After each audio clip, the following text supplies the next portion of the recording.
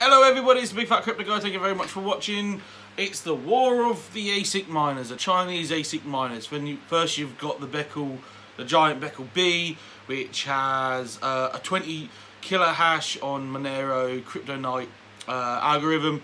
And now you've got Bitmain, big bad Bitmain come out and said, we released a, a Bitmain X3 miner, which is uh, 220 kilo hashes on Monero uh, miner right?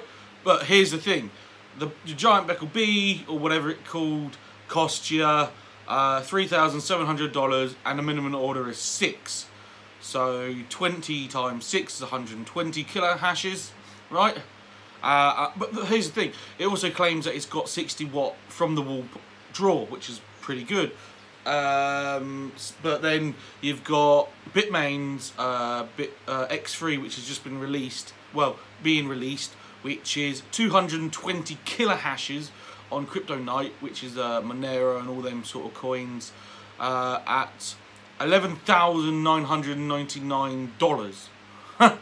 okay, so here goes. So, Giant Baikal want a minimum order of six units per um, per order, and uh, you're getting half the uh, hash rate of uh, Bitmain's one unit at $11,999. This is insane.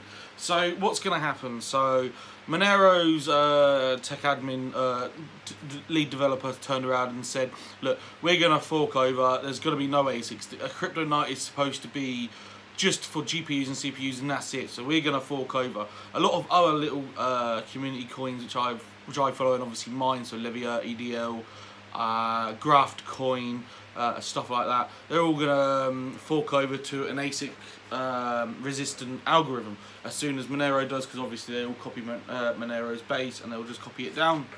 So that's good. So what is my opinion on these? So you either need six miners at $20,000 or you need one miner at $11,900. Um, it's not going to happen. Do not buy these paperweights. There's no point in buying them. They're, they're too expensive. This is your first batch.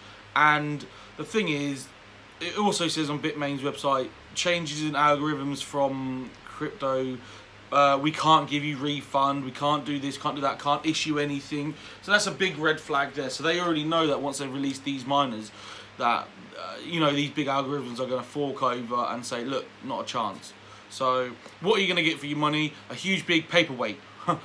you either get one huge big paperweight or you get six huge big paperweights.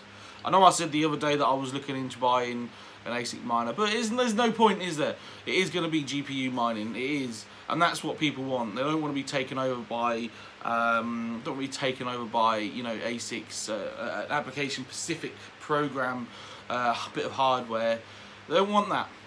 So, you know, you either get, you either spend $20,000 and you get less hash, but you get more machines, or you spend $11,999 and get more hash, uh, more daily profit.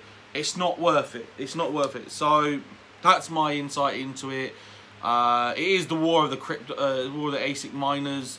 Um, and that's all I'm going to say about it. Please uh, like, share and subscribe down below. That's the Big Fat Crypto Guy.